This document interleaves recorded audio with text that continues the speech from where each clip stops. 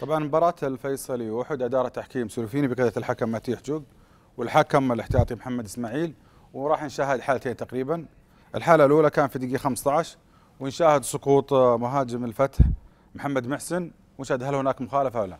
شوف هنا المخالفة واضحة من مدافع نادي الفيصلي.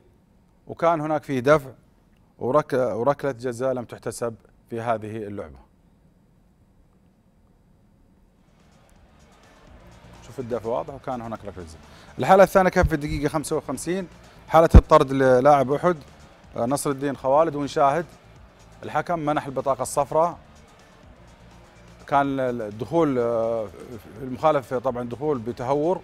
ومنح البطاقة الصفراء الثانية وكان لدى لاعب أحد آه، بطاقة صفراء اولى اللي هو نصر الدين خوالد.